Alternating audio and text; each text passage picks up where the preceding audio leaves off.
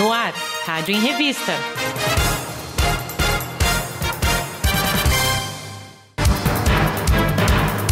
Olá, começa agora o especial Rádio em Revista, jornal da Rede Alesp. Um resumo das principais entrevistas que foram feitas aqui no nosso jornal diário, com especialistas de diversas áreas, sempre debatendo temas de importância para todos nós. Saúde, educação, políticas públicas, economia. Alguns dos assuntos que o Jornal da Rede Alesp leva até você todos os dias. Então vamos a mais uma edição do Rádio Revista. Nós começamos o programa de hoje falando sobre meio ambiente. Segundo o levantamento do Observatório do Clima, uma rede composta por 37 entidades da sociedade brasileira, o orçamento previsto para este ano pelo Ministério do Meio Ambiente é o menor dos últimos 21 anos. Nós recebemos no jornal da rede Alesp Sueli Araújo, que é especialista sênior de políticas públicas do Observatório do Clima. Vamos acompanhar o trecho da entrevista dela concedida às jornalistas Julie Stanzioni e Tayana Conrad. O valor total destinado ao Ministério do Meio Ambiente e às autarquias vinculadas ao Ministério, IBAMA, ICMBio e Jardim Botânico, somam é, 1,72 bilhões, incluindo gastos com pessoal também.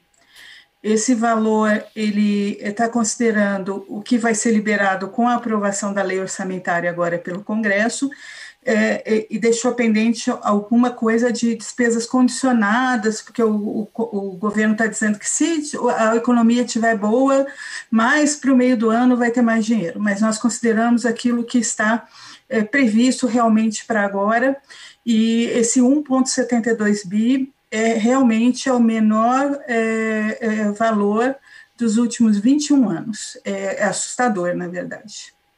Agora, Sueli, é, dados informam né, que o desmatamento no Brasil tem demonstrado um crescimento expressivo, né? Tem crescido muito nos últimos tempos. Eu queria que você falasse um pouquinho sobre isso. Quais são as causas né, que podem estar associadas a esse, a esse crescimento?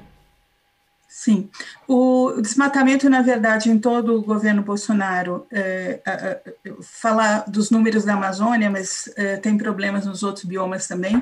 Na, na Amazônia, o desflorestamento é, ele, ele, explodiu é, no primeiro ano, em 2019, com um aumento de 34%, e no ano passado aumentou mais 9,5%. Nós estamos com a faixa de 11.088 quilômetros quadrados de desmatamento em 2020.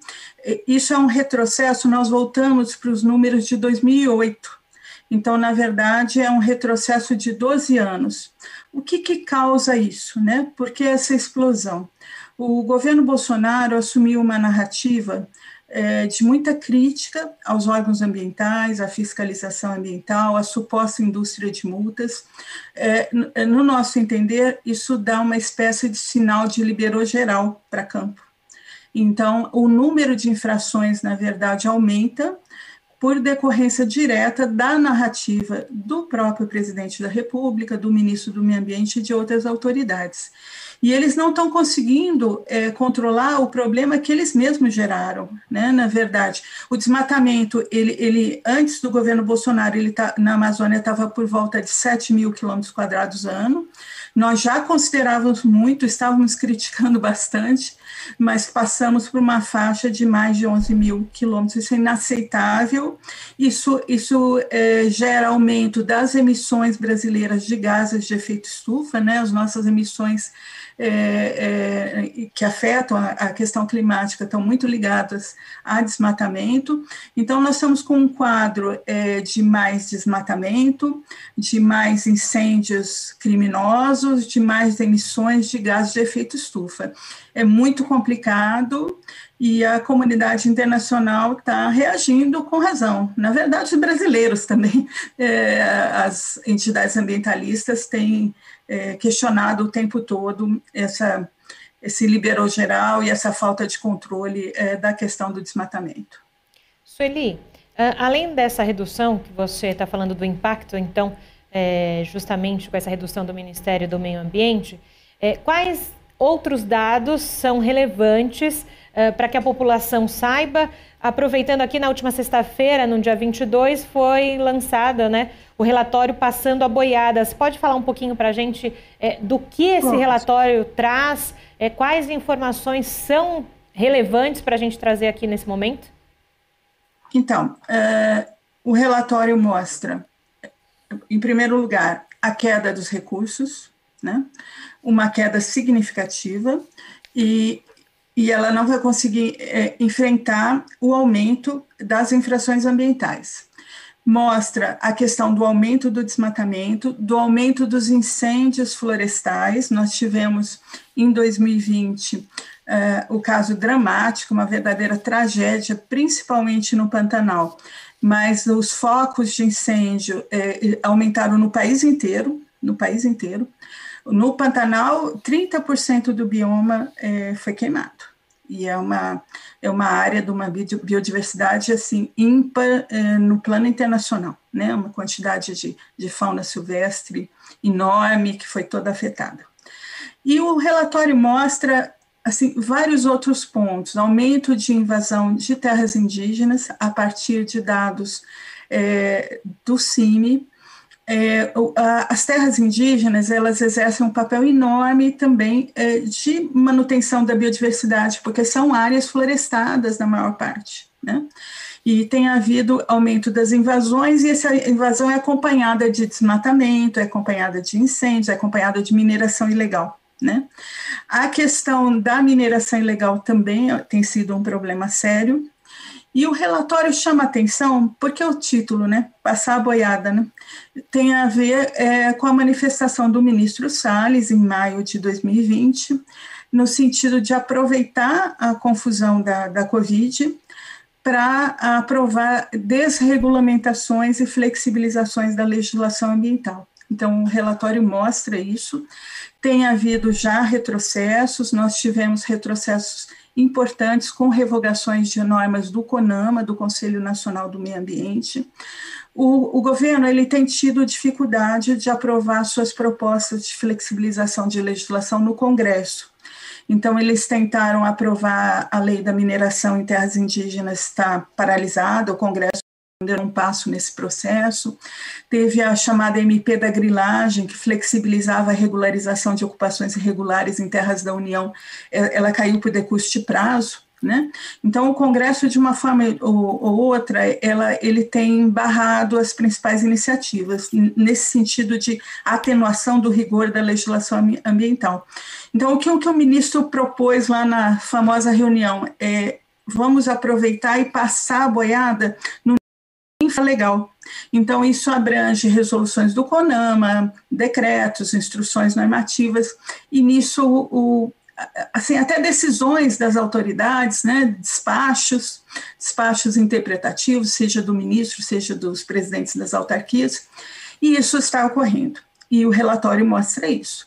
Eles estão atenuando a, a, a legislação ambiental, tornando ela menos rigorosa, não por lei, mas por atos infralegais. Isso, isso é muito sério, porque a, a, política ambiental, em qualquer lugar do mundo, ela tem um forte componente regulatório. A política ambiental, ela, ela até tem algum recurso para fomento, mas sempre foi pouco. O, o coração da política ambiental são regras, né? E eles estão atacando exatamente o coração da política ambiental. É, é, eu considero um projeto assim calculado. E, e isso é, é, é eles são contra essas regras todas, entendem que a, a, a, a legislação ambiental é, é, um muro a ser superado, é um, ela atrapalha, ela atrapalha uma visão de desenvolvimento que eles têm, que é uma visão arcaica que não é, trabalha com floresta em pé, que pressupõe que para desenvolver você tem que derrubar tudo, né? É uma visão bem antiga, bem antiquada, é, e ne, nessa visão a legislação ambiental é uma coisa que incomoda, e eles estão tentando afastar. É essa a leitura do Observatório do Clima. Agora, Sueli, a globalização né, e o aumento aí da demanda no mercado nos últimos tempos de alguma forma, ele está afetando também o desmatamento e o ecossistema brasileiro? Bom, é, o, o, país, o, o, o Brasil é um, é um, país exportador de produtos agrícolas em grande parte, né? Isso é forte na sua economia. O que tende a acontecer e, e, e, a, e a, a visão de que para você fazer, continuar fazendo isso, você precisa degradar, ela é equivocada. O, o, o, o pessoal da área de agricultura sabe disso. Nós temos uma quantidade grande de áreas degradadas que podem ser recuperadas, quer dizer, para você manter a produção agrícola brasileira, você não precisa expandir o desmatamento, isso tem vários estudos técnicos que mostram, e ao contrário, a pressão internacional, ela ela já está cobrando do Brasil medidas mais rígidas em relação à política ambiental. O mercado internacional tem pressionado os exportadores brasileiros desse eh, liberou geral do governo Bolsonaro é, já é, produtos sendo afetados por essa pressão, como a soja e outros. É, é, quer dizer, a tendência é exatamente o contrário que está tá sendo mostrado. Se o país não é, voltar a controlar o desmatamento e outros ilícitos ambientais, ele vai perder mercado. Então, esse desmonte da política ambiental, na verdade, quem é um dos grandes afetados são os próprios exportadores brasileiros, e isso precisa lev ser levado em consideração.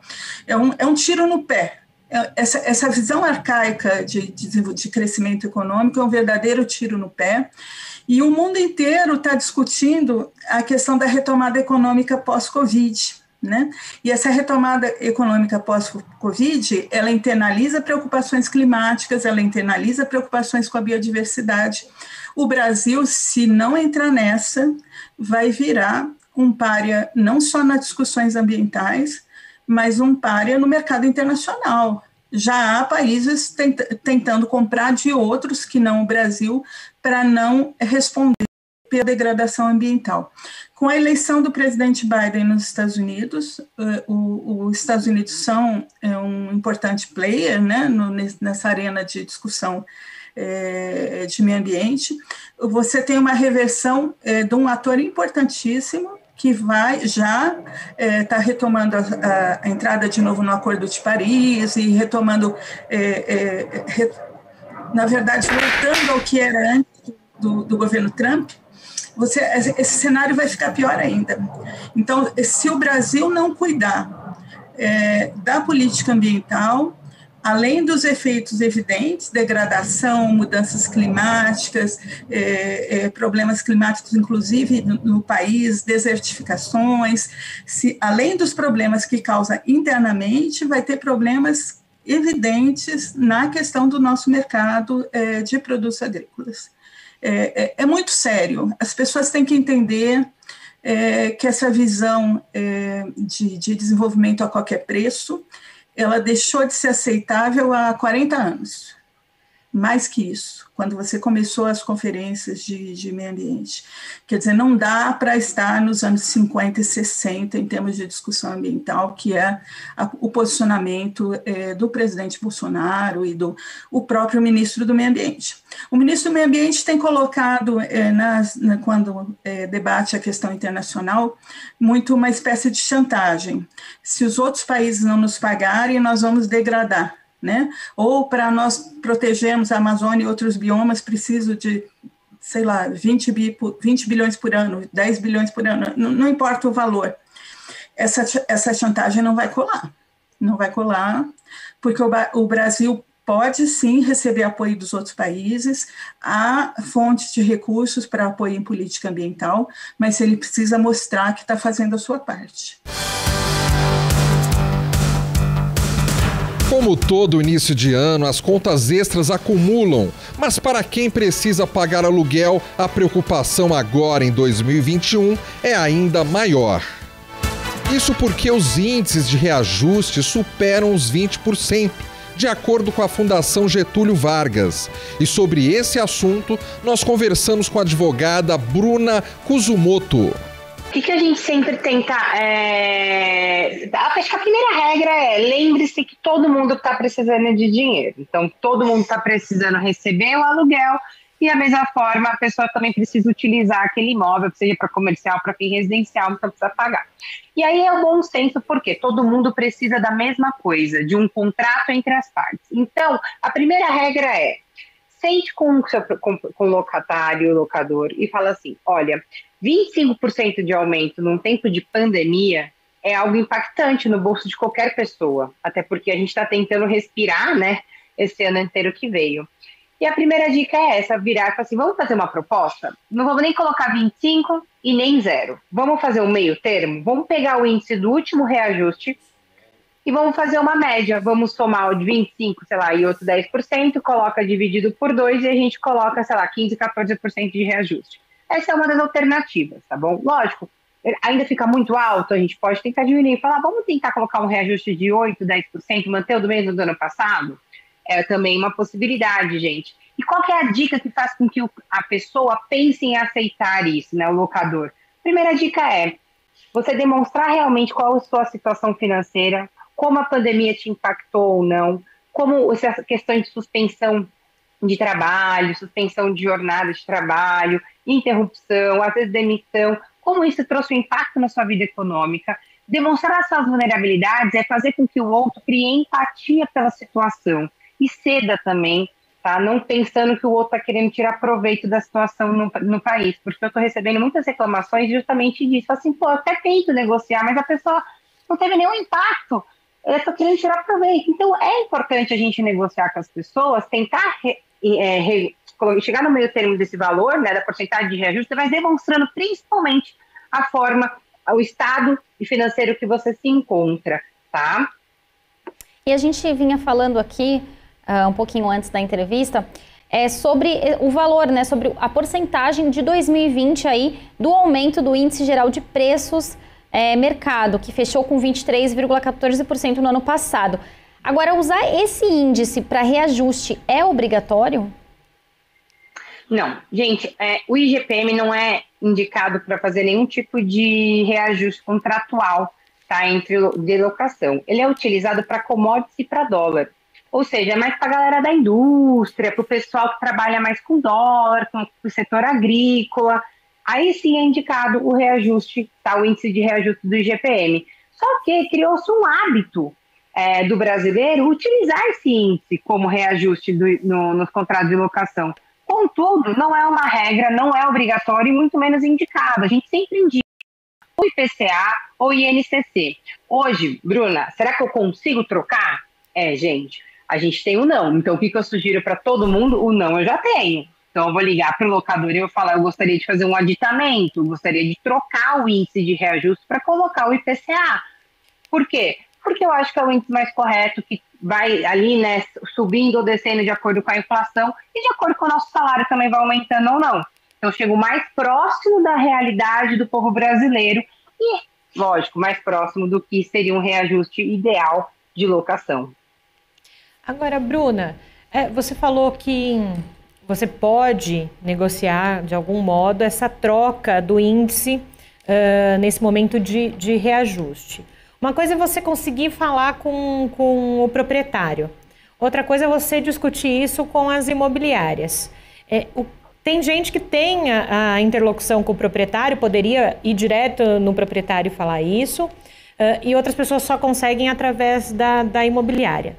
Para a imobiliária, o que é mais vantajoso? Existe alguma vantagem, por isso que elas colocam uh, algum índice para reforçar esse reajuste ou não tem nada a ver uma coisa com a outra? Não, a imobiliária ela ganha a porcentagem dela de administração do imóvel, tá? Lógico, se o aluguel aumentar, a porcentagem dela, né, consequentemente aumenta. No entanto, se não tiver locatário, ela vai ficar sem receber né? Então, o certo, o certo mesmo, é a, a imobiliária conversar com o locador e locatário, fazer essa intermediação para poder chegar a um, a um, bom senso. Mas, assim, eu não vejo nenhuma justificativa para ela falar não, sabe? Sem consultar o locador. Eu não vejo nenhum interesse dela nessa relação de já dizer não de antemão sem uma consulta prévia, tá? Por quê? Porque Fazendo isso, pode ser que eu expulse o meu locatário, ou seja, o imóvel vai ficar desocupado, tem IPTU para pagar, tem condomínio, enfim, tem luz, né, água, um monte de coisa para ser pago. Por isso, eu acho que a imobiliária não é, para a imobiliária não é vantajoso falar não, sim perguntar né, antecipadamente para o locador. Lógico, é, uma, é um costume, eu volto a dizer, é um costume a gente utilizar o IGPM como índice de correção dos contratos de locação mas não é uma regra. Você pode alterar isso sempre e pode alterar até depois de já fixado, ou seja, com pedido de aditamento, de alteração desse índice de reajuste. Agora, Bruna, como que deve ser conduzida né, essa renegociação para que tanto o proprietário quanto o inquilino não saiam aí prejudicados?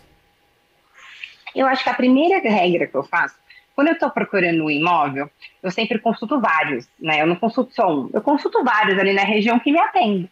Ou seja, a primeira regra é vamos consultar todos os outros imóveis na mesma metragem, ou às vezes no mesmo prédio, na mesma região, e vamos ver qual é a, a média de valor de locação. Com base nisso, eu consigo mostrar para o locador que, olha, o que você está me pedindo está muito alto, muito além do que o mercado está pedindo, né? ou não, tá, tá adequadamente, eu tenho que me adaptar a esse valor, ou então eu tenho que escolher outro imóvel.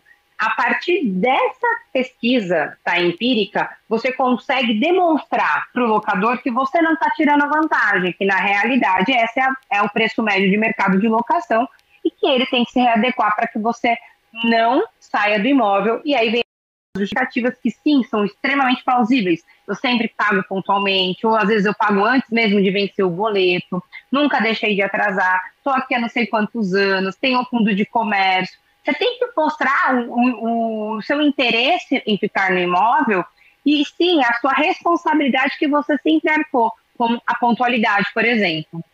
Então, Bruna, doutora, é justamente você também usar o seu histórico enquanto inquilino uh, para talvez ser uma das justificativas nesse sentido da negociação.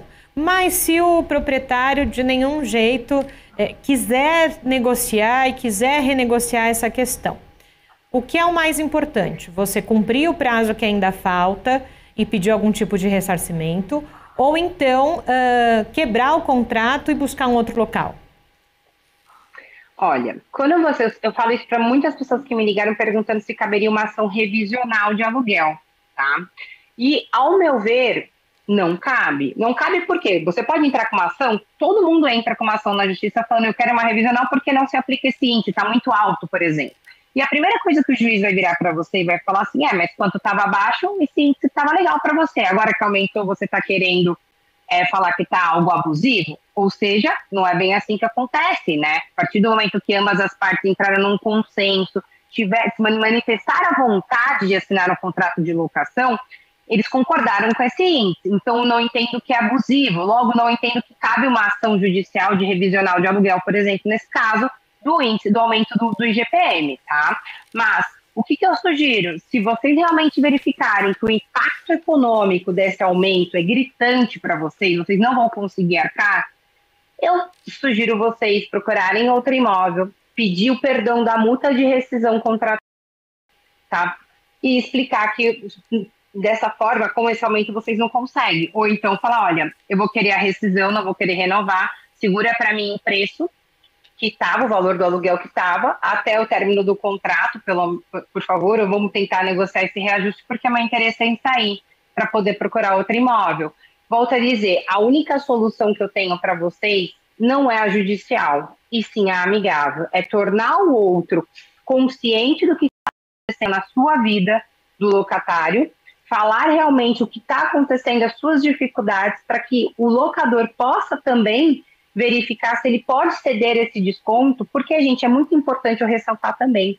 Muitas pessoas utilizam a locação como aposentadoria, como sustento. Não é porque uma pessoa ela, tem um imóvel loca que ela é rica, que ela não precisa desse dinheiro. Pelo contrário, antigamente os nossos pais utilizavam isso como uma forma de aposentadoria para comprar imóvel. Então, por isso que é tão importante chegarem ao bom senso, porque olhar a necessidade do locador e a necessidade do locatário, mas se realmente não chegarem a um, a um denominador comum, Eu sugiro peça rescisão e negocie o perdão da rescisão contratual e mude para outro imóvel. O especial Rádio em Revista faz um pequeno intervalo. Voltamos em instantes, não saia daí. O programa Rádio em Revista volta já. Estamos de volta. Rádio em Revista. Estamos de volta. O médico infectologista Ricardo Sobier Dias participou do jornal da Rede Alesp para fazer um comparativo entre a vacina de Oxford e a Coronavac. Vamos acompanhar. Gente testou, que está é, tá sendo agora invasada pelo Butantan, é uma vacina que tem uma tecnologia que é bastante antiga, mais de 80 anos.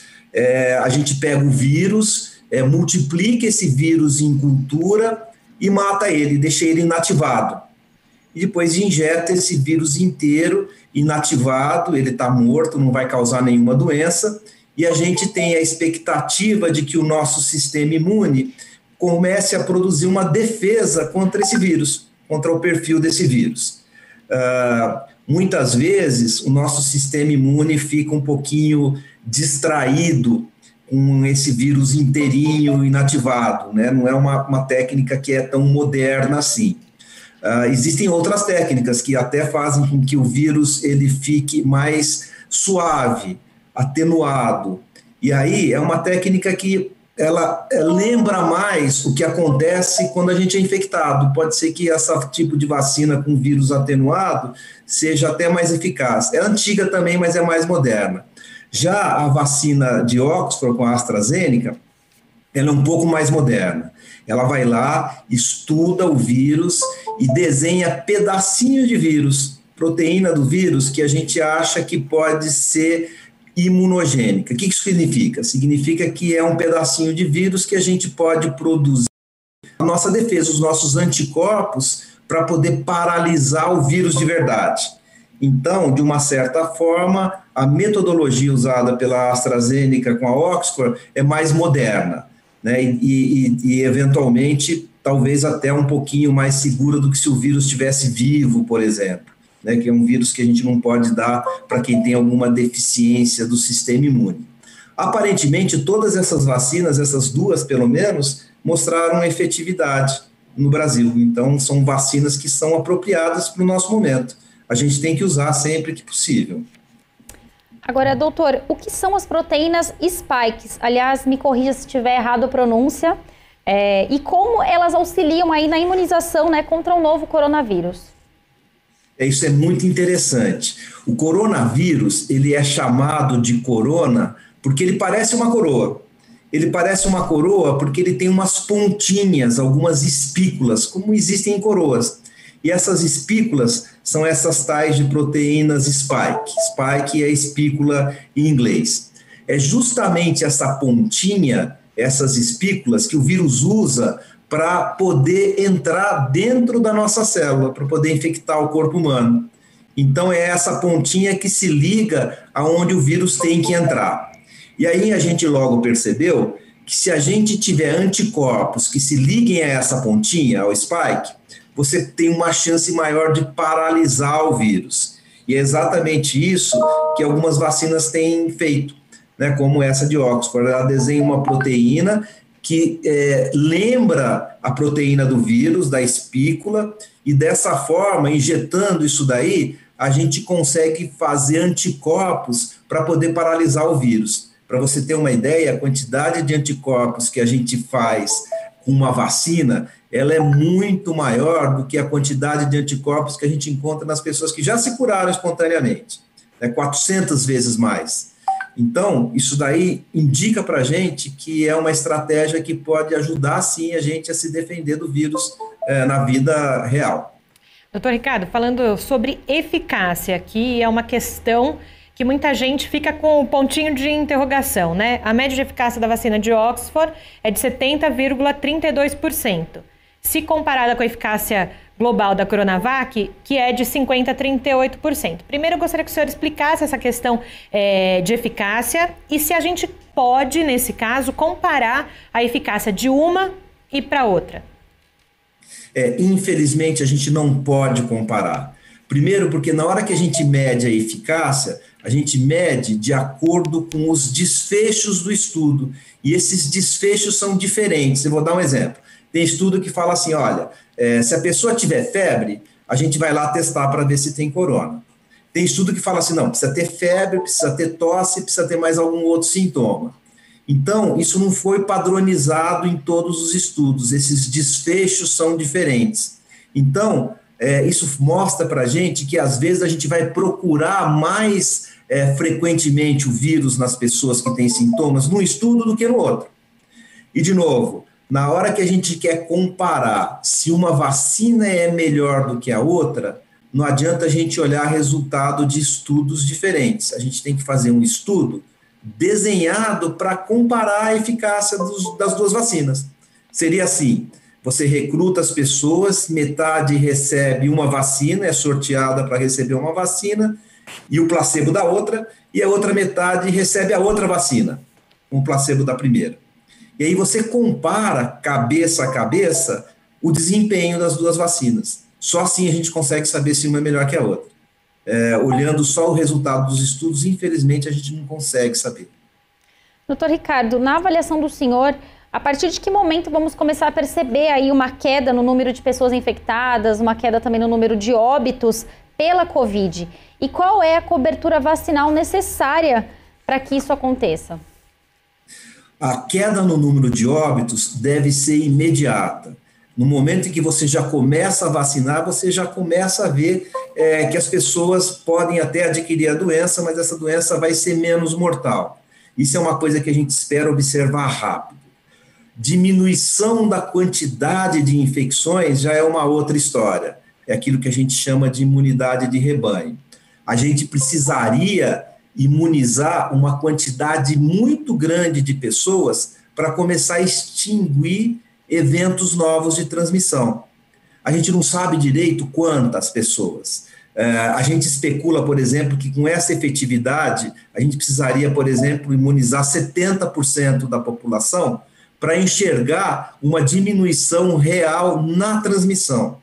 Agora, veja bem, se você não diminuir de forma efetiva é, as, as infecções assintomáticas com a vacina e você não diminuir a multiplicação do vírus com a vacina no nariz e na garganta, pode ser que a gente não consiga uma imunidade de rebanho.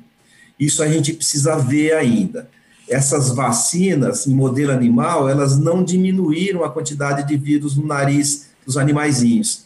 Então a gente tem dúvida com relação a isso também. Isso quer dizer que é ruim, que a gente não deve tomar? Claro que não, porque no modelo animal, a gente já viu que a, a, a pneumonia era menor. Quem tomava vacina, o animalzinho morria menos. E a gente está vendo isso no estudo também. Né? Então, as vacinas são muito necessárias e a gente ainda precisa observar qual que vai ser o nível de proteção que ela vai causar na população para a gente começar a diminuir o número de casos novos. Questão de doses, doutor. É uma outra questão também que muita gente fica na dúvida não é? Se falou da, da Coronavac em duas doses, uh, a de Oxford, como seria? Eu li uh, há uns dias atrás um especialista dizendo que o Brasil acertaria se tomasse apenas a uma dose da vacina de Oxford. É, conta para gente aqui, para quem é leigo no assunto, no assunto, como é que funciona então essa questão das doses e como é essa questão de imunização por elas? Cada vacina tem uma eficácia diferente com relação às doses. E cada vacina, às vezes, precisa ter não só o componente da vacina, mas alguma coisa junto para fazer com que ela fique mais efetiva. Tudo tem nome, sobrenome em medicina. Chama adjuvante. E cada vacina vai ter que ter um número de doses para a gente conseguir ter uma quantidade grande de proteção. Sabe, tem vacina que a gente precisa ter quatro doses. Uh, hepatite B, tem vacina que a gente precisa ter três doses.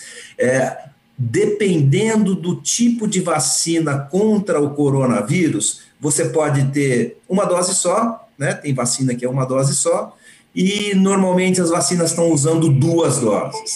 Por que, que a gente usa duas doses? Porque para conseguir a quantidade de imunidade que a gente precisa, de anticorpos e de células que protejam a gente, você só vai conseguir depois de um tempinho da segunda dose. Né? Você tem da primeira dose, a eficácia normalmente é muito baixinha, e depois da segunda dose você começa a ter uma eficácia maior. As autoridades concordam que é um erro essas, é, nessas vacinas que a gente precisa de duas doses, dar uma dose só. Elas podem estar contando com o fato de que você vai imunizar uma quantidade maior de pessoas e no momento da segunda dose você vai comprar de novo vacina para poder ter para todo mundo. Né? Então você já teria imunizado uma quantidade grande de pessoas. Estratégia errada. É, pode ser que com uma dose só você tenha uma proteção tão pequena que não faça a mínima diferença. Então a gente tem que seguir o que está na bula. A gente tem que seguir o que a ciência gerou de conhecimento. O que a ciência gerou de conhecimento é, para essas duas vacinas que a gente tem, a gente precisa de duas doses. Fazer uma dose só é um erro que pode ter um preço caro para a gente. Desde 2016, o Ministério da Saúde criou a campanha Janeiro Roxo, que enfatiza o combate e tratamento da hanseníase, uma doença infecto-contagiosa que atinge mais de 30 mil brasileiros todos os anos. Aliás, o Brasil é o segundo país com maior incidência da doença no mundo, perdendo apenas para a Índia. E sobre esse assunto e a campanha Janeiro Roxo, nós conversamos com a dermatologista Lívia de Andrade Bessa. Confira um trecho. A hanseníase, então, né, é uma doença infecto-contagiosa que é causada por uma micobactéria, que é o bacilo de Hansen, né? E ela comete principalmente a pele e os nervos periféricos. Então, vai causar algumas manchas no corpo, é, ou então sintomas é, em decorrência desse acometimento neural. Então, fisga, fisgamento, formigamento, cãibra, ou até mesmo perda da força muscular em casos mais avançados. E as manchas podem ser umas manchas mais claras que o tom da pele, então manchas esbranquiçadas, manchas avermelhadas ou mesmo acastanhadas. Também pode ter caroços. Então, assim, a hanseníase, para fazer o diagnóstico, o diagnóstico é principalmente clínico. Então, a pessoa tem que procurar o atendimento médico e o médico fazer essa avaliação clínica, porque não tem nenhum exame que é específico para fazer o diagnóstico. Tem exames que podem ajudar nesse diagnóstico, porém o diagnóstico é essencialmente clínico. Daí a importância da gente conhecer esses sintomas e explicar para as pessoas procurarem o atendimento médico. O tratamento ele é feito com medicação que, são, é, que a gente chama de poliquimioterapia, que são vários medicamentos, de dois a três medicamentos, e dependendo do caso, o tratamento dura de seis meses até um ano de tratamento e a maioria dos pacientes vai evoluir com cura. Esse tratamento ele é disponibilizado pelo SUS gratuitamente em todo o território nacional. Agora, doutora Lívia, é, a gente até vai falar um pouco mais a respeito do tratamento, mas eu gostaria de entender o seguinte: é, por que, que a hanseníase no Brasil, comparada a outros países, ainda é uma doença que é, acaba infectando tanta gente. Houve em algum momento aqui um descuido em relação a essa doença no país? É, por que, que a gente está entre os países com maior nível de incidência da doença no mundo? Bom, é, então, a hanseníase a gente sabe que é uma doença milenar, né? Então, a gente tem relatos aí desde a época da Bíblia e é, é uma doença que ela não vai afetar é, todo mundo. Então, para a gente entender um pouquinho, 90% da população ela vai ser resistente, vai ser imune a essa infecção. Então, vai entrar em contato com esse bacilo e não vai ficar doente. Só que 10, de, de, em torno de 5 a 10% é suscetível, sim. Né? E a gente tem é, esses relatos aí de é, desde essa época, né? Então, Brasil desde o descobrimento a gente tem relatos é, da doença aqui, tá? E sempre foi também uma doença muito negligenciada, por, afetar principalmente as pessoas que são nas camadas mais vulneráveis, né? Então, realmente, é, as pessoas que são mais pobres, que estão na periferia, é, são essas que são mais acometidas, assim como outras doenças também que são um pouco mais negligenciadas, como a tuberculose, tá? Isso a gente sabe que o Brasil, então, tem quase 30 mil casos novos diagnosticados todos os anos, principalmente é, nas regiões centro-oeste, norte e nordeste, mas a gente também tem casos nas outras regiões, né? Então, inclusive aqui no município de São Paulo. E então essa doença ela vem aí e é difícil se às vezes o que que acontece? Como a doença é uma doença silenciosa, eu vou falar, às vezes a pessoa ela não ela não acha que aquilo é importante. Então, por isso que divulgar mais a doença e explicar que vai que vai ter, que tem tratamento, que ela precisa procurar ajuda médica, isso é importante, que às vezes a pessoa nem sabe que aquilo é Estamos com um problem... ah, probleminha de conexão. Já já a gente volta com a doutora Lívia falando de Hanseníase. Doutora Lívia? Oi. Doutora Lívia, também tá perguntando, ela é hereditário e qual que é, como é que ocorre a contaminação da doença? Ela é facilmente transmissível ou não? Então, a hanseníase, esse bacilo, ele demora muito para se multiplicar. Então, é uma doença que demora muito para aparecer sintomas. Então, digamos que entre o contato que a pessoa teve, que é geralmente a transmissão é pelas vias aéreas, né? assim como doenças respiratórias. É, só que você tem que ter um contato bastante prolongado. Então, digamos assim, a pessoa tem que estar doente, é, eliminando bacilos e as pessoas que convivem, que vão ser as pessoas que podem ter maior chance de ficarem doentes. Não é hereditário, então tem esse causador, que é essa micobactéria, porém a gente sabe que como tem essa predisposição genética, existem famílias que realmente são mais suscetíveis a ficarem doentes. Como eu falei, de 5 a 10% que vão ficar doentes. O restante, eles têm, as pessoas vão entrar em contato e não vão ficar doentes. Então, por ser uma doença que demora muito para apresentar sintomas, não é assim tão simples esse contágio, tá? Então tem que ter esse contato prolongado, em torno de aí de dois a cinco anos, em contato com a pessoa que está sem tratamento, porque a partir do momento que a pessoa inicia o tratamento, ela já não transmite mais a doença. Então você tem que, por isso que quando a gente faz o diagnóstico de um doente, a gente sempre vai examinar quem convive com ele. Então, quem mora na mesma casa ou passa mais tempo é, em contato com essa pessoa, tá? é, não é indicado, é, assim, o médico ou qualquer profissional de saúde que atenda um paciente com hanseníase, ele não tem chance de, de se contaminar num contato tão rápido. Como eu falei, demora de dois a cinco anos de contato, né? Então é um contato bem longo para você ficar doente ou não, tá? Então não precisa ter medo, que muita gente fica com medo de que, que pode passar também pelo contato, pelo toque, né? Então, isso daí é, é, é, um mito, né? As pessoas ficam com receio, mas não é tão simples assim esse contágio, tá? Isso que a senhora está falando é muito importante, até porque, principalmente no passado, né? É, quando tinha uma pessoa ali com e você não queria nem dar a mão para a pessoa, né? Então a senhora está deixando claro que não é dar a mão para uma pessoa que tem hanseníase que necessariamente vai fazer que haja o contágio, o contágio é de uma outra forma, é de uma forma gradual. Então é, é bem importante essa informação que a senhora está dando. Sim, é muito importante porque muitos até profissionais de saúde desconhecem essa forma de contágio e acabam ficando com, acaba gerando um preconceito, né? Então, você pode dar as mãos, pode abraçar, pode, não tem problema nenhum, tá? Não precisa usar luva, nem máscara. Agora a gente está usando a máscara por outro motivo, por conta do Covid, mas pela hanseníase não tem indicação nenhuma. Agora, doutora Lívia, é, janeiro roxo, é, por que janeiro, por que o mês de janeiro e qual o objetivo dessa campanha?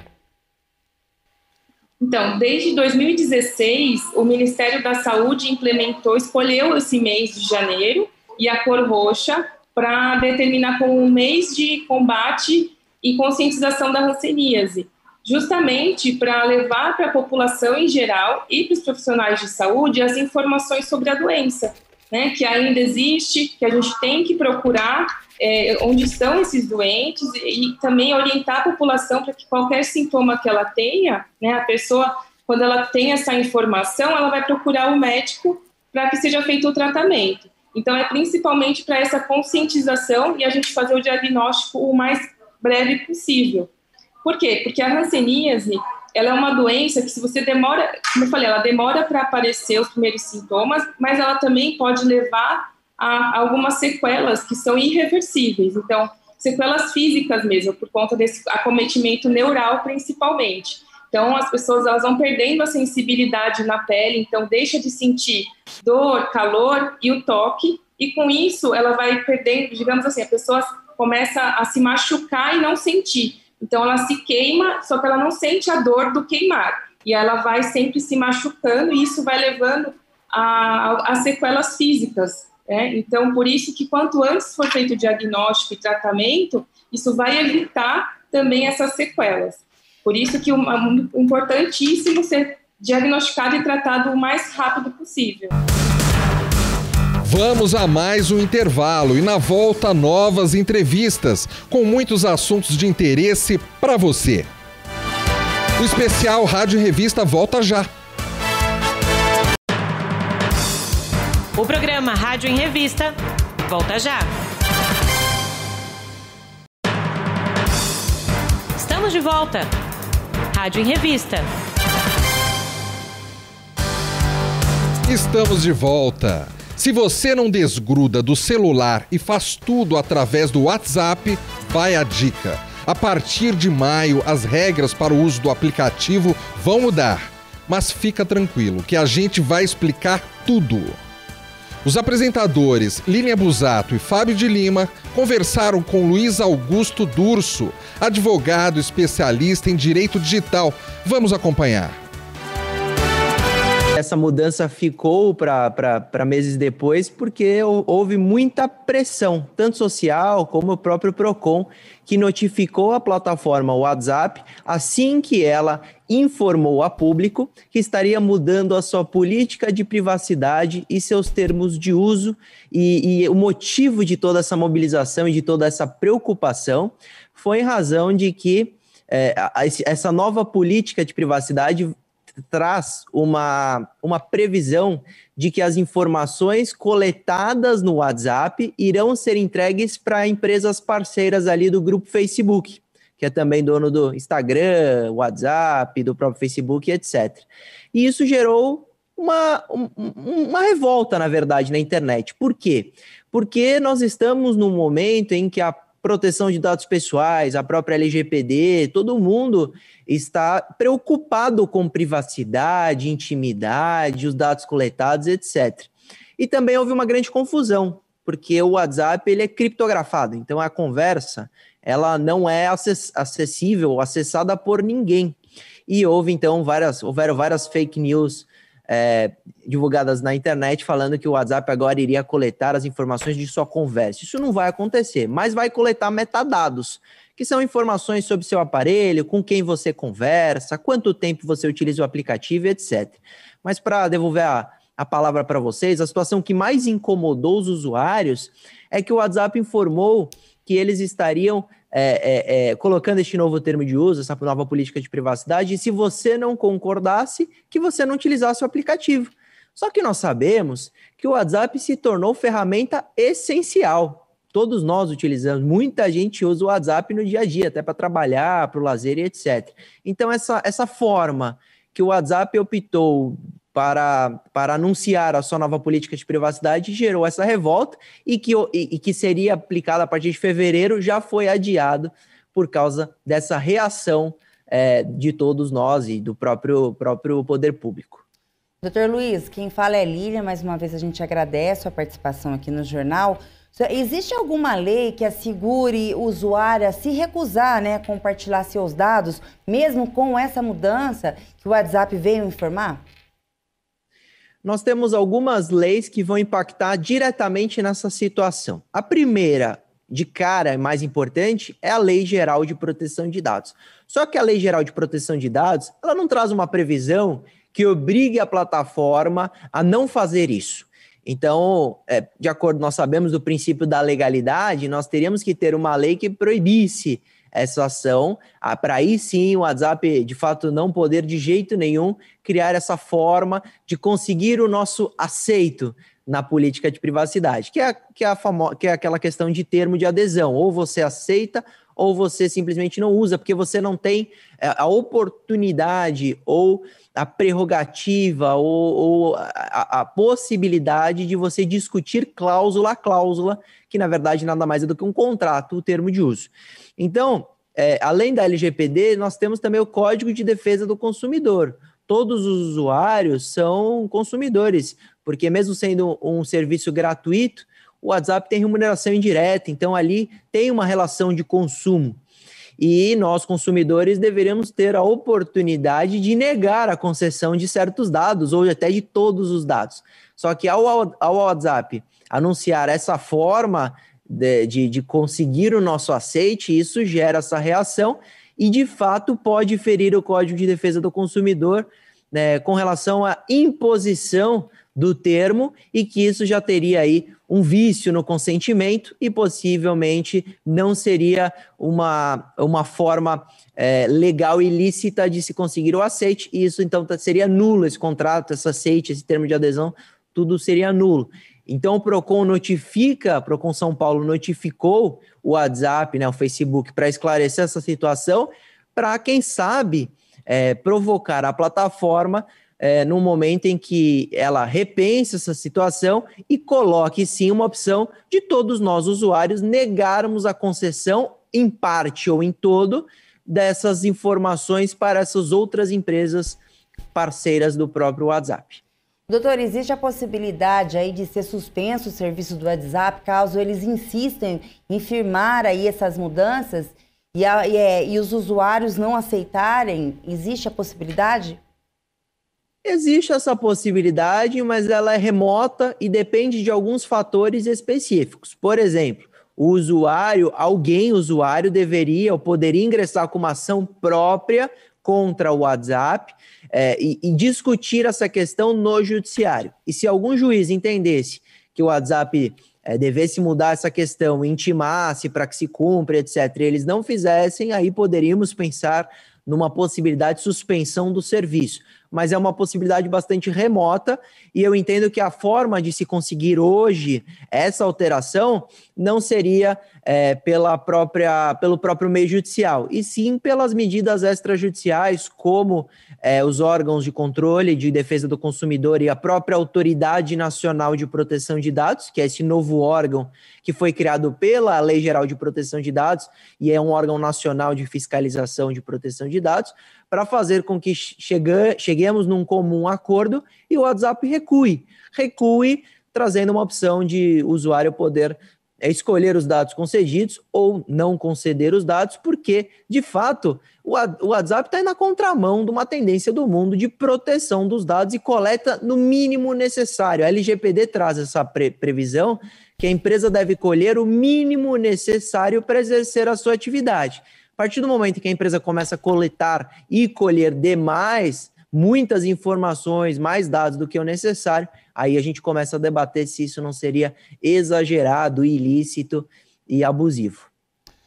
Doutor Luiz é, Durso, eu quero voltar um pouquinho é, na base desse assunto, porque a gente está falando aqui dessa coisa das regras de privacidade, né? E, é, por exemplo, no WhatsApp tem o que se chama de criptografia, né? E eu quero saber o seguinte, é, é, doutor: nós temos uma garantia a partir do momento que a gente baixa um aplicativo, como é o caso do WhatsApp, que realmente as nossas informações elas não estão sendo utilizadas de alguma forma? Qual que é a garantia que a gente tem em relação a isso? Algum órgão fiscaliza isso? Eu quero entender, porque a gente está falando sobre é, é, política de privacidade, né? E eu quero saber se hoje em dia realmente a gente tem uma política de privacidade ou simplesmente a gente não sabe é, para onde está indo os nossos dados e por isso a gente acha que eles não estão indo para lugar nenhum. Excelente pergunta, Fábio. Vamos só é, traduzir para os nossos ouvintes, telespectadores, etc a diferença entre dados e metadados e o que o WhatsApp de fato coleta, e aí sim chegar nesse ponto da criptografia. Quando o WhatsApp anuncia que ele é criptografado ponto a ponto, significa que a partir do momento que eu, Luiz Augusto, mando uma mensagem para você, Fábio, essa mensagem só vai ser é, acessível no meu aparelho de envio e no seu aparelho que recebe. No trânsito, na transferência desses dados, eles são criptografados e vão navegar na internet de maneira criptografada, sendo que nem a empresa, nem a própria empresa poderia ler a conversa. Isso, de fato, é, isso de fato acontece. E por que nós sabemos, Fábio? Porque isso é auditado, isso é testado pelo mundo inteiro. Todas as empresas concorrentes, como Telegram, Signal é, e todas tantas outras, elas testam o tempo inteiro da criptografia daquela empresa concorrente, porque se houver uma uma descoberta de possível fraude, falha nessa criptografia, isso seria um escândalo mundial e traria um prejuízo gigantesco aos cofres do WhatsApp. Então, a criptografia da mensagem mandada em conversa, isso é garantido pelo WhatsApp ponto a ponto. Vale dizer, só é possível ver essa mensagem num celular que envia e no que recebe no meio do caminho não dá para interceptar, hackear essa conversa. Mas dado coletado não é só o que a gente escreve. Então tem um monte de outras informações paralelas que essas sim são acessadas pela plataforma. Por exemplo, o WhatsApp virou uma ferramenta de venda e de compra de produto no mundo inteiro. No Brasil isso ainda está suspenso, mas em breve vai começar também. Esses dados do que a pessoa está comprando na ferramenta, o quantas vezes ela compra, quanto tempo ela conversa com as pessoas, quanto tempo ela fica online, quem são os contatos que ela mais conversa, é, é, esses, essas informações são os chamados metadados. E isso é de fato coletado e assumido pelo WhatsApp. O problema é que a lista desse metadado é quase infinita, é uma lista muito grande de informações e essas informações que vão ser entregues para empresas parceiras, que não deixa de ser, Fábio, uma invasão de privacidade. Porque se o WhatsApp é, mapear essas informações, ela vai saber que eu fico horas e horas conversando com outra pessoa, etc. Isso pode ter uma possível invasão de privacidade. Então é, é bom a gente distinguir que a criptografia da conversa, ela de fato é garantida mas dos metadados não são. E algumas empresas parceiras concorrentes, como o próprio Signal, ele criptografa até os metadados. Então não é uma prática do mercado comum de, de ter acesso a essas outras informações. Mas no caso do WhatsApp, eles têm e terão enviado isso ainda para outras empresas. Então aí que está o ponto que preocupa. Então, se a gente pressionar isso, continuar essa, essa pressão, tanto legislativa, social, política, etc., quem sabe o WhatsApp mude essa tendência de coleta e, de fato, é, comece come, começa a, a, a, criptografar tanto backup como metadados, essas informações que hoje não são criptografadas porque são acessadas pela plataforma. A pandemia refletiu de forma negativa na relação conjugal do brasileiro. Os cartórios registraram queda de casamentos e aumento no número de divórcios tanto consensual, onde há acordo entre os companheiros, mas também extraconjugais, aqueles em que ninguém cede. E se o casamento chegou ao fim, o que fazer? Quem conversou com a gente sobre esse tema foi a advogada Ana Paula Jimenez. Confira a pandemia aumentou muito o número de divórcios. Por quê? Porque as pessoas passaram a conviver no mesmo ambiente. Então, o que antes elas tinham, os anestésicos, era o trabalho, era a academia, era o barzinho, é, o shopping, a correria com as crianças, muitos casais foram obrigados a rever suas relações. Mas, é, independentemente desse casal está junto ou separado, os filhos devem ser preservados. Porque o divórcio, a separação, ela não acaba com a família, ela muda o formato da família. Então, quero uma família mononuclear, que era todo mundo vivendo junto, passa a ser binuclear. Que esse casal, né, é, ele, o casal conjugal, ele vai acabar, mas o casal parental para o casal de pais vai continuar. Então, as pessoas precisam aprender a conviver com isso, tá? É, conviver com essa situação para preservar o máximo possível seus filhos. Doutora Ana Paula, legalmente falando, hoje, quais os tipos de separação que existem? A partir partir de 2010, né? Antes de 2010, a gente precisava se separar para se divorciar que era o divórcio que acabava com o vínculo conjugal, né? A separação, ela colocava o fim à, à sociedade conjugal, ou seja, as pessoas não precisavam mais ter os deveres do casamento, cessava o regime de bens, mas se elas decidissem voltar, elas não precisavam casar de novo, porque aquele vínculo conjugal, eh, ele não estava desfeito, tá?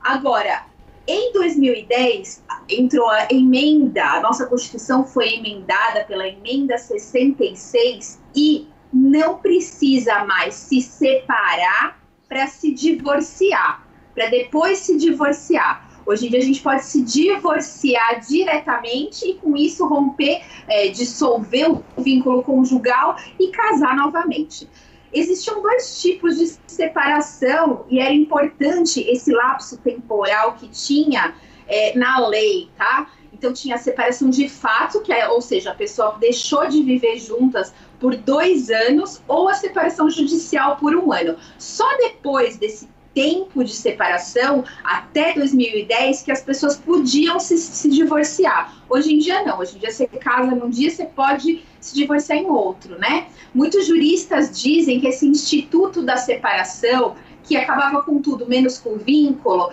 já não existe mais, já é ultrapassado. Então tem uma discussão sobre isso, tá bom? Mas o que a gente sabe hoje em dia é que conforme as relações foram mudando, que as pessoas foram ter, tendo mais liberdade para escolher, para ficarem juntos, juntas pelo afeto, o divórcio passou a ser é, o, a, a maneira de eleição de romper com o casamento. Doutora, feito o divórcio, como é que é feito o cálculo da pensão alimentícia e se o cônjuge também tem direito, o cônjuge desempregado que não possui profissão? Como é que ficou isso depois da mudança da lei? Então, o que acontece é a pensão alimentícia do ex-cônjuge, a pensão alimentícia do ex-cônjuge é chamada de alimentos transitórios. Então, é uma pensão para que aquele cônjuge que não está no mercado de trabalho, por exemplo, a mulher que deixou a profissão, é, deixe de trabalhar porque por causa dos filhos, por causa da casa ou por causa do casamento mesmo, ela se reinsira no mercado de trabalho. A jurisprudência do STJ fala quando essa mulher tem uma idade para se reinserir no mercado de trabalho, tem condições, não tem nenhuma doença totalmente incapacitante, geralmente por dois anos ela vai receber essa pensão. Tá? Não é uma regra, tá? Vai depender muito do caso concreto. Quando a gente fala na televisão, muitas pessoas tomam como regra, mas não, eu tô falando geralmente. Agora, a pensão dos filhos. A pensão dos filhos, né? Ela vai ser calculada como? Vamos verificar a necessidade dos filhos, então quanto essas crianças, esses filhos precisam. Necessidades vai entrar a escola, todas as necessidades individuais, escola, plano de saúde, fonodióloga, psicólogas, atividades extracurriculares, material escolar, tudo isso vai ser calculado. Também vai, vão ser calculadas as despesas desse lar então, luz, IPTU, condomínio, telefone, funcionários. E essa despesa do lar vai ser dividida pelo número de habitantes. Com isso, a gente soma as despesas individuais dos filhos com a despesa do lar referente a eles e a gente chega a um valor da necessidade, ou seja, da despesa dos filhos. E ambos os pais devem contribuir. Claro que aquele que mora com a criança, ele vai ter um gasto maior mas vai contribuir como? 50% cada um? Vai depender do caso concreto. Se os dois tiverem as mesmas condições financeiras, sim, mas geralmente um tem uma condição melhor que o outro. Então, é de acordo com a possibilidade dos pais. Então, quanto eles ganham. O programa especial Rádio em Revista, Jornal da Rede Alesp, chegou ao fim. Até o nosso próximo encontro. Obrigado e tchau.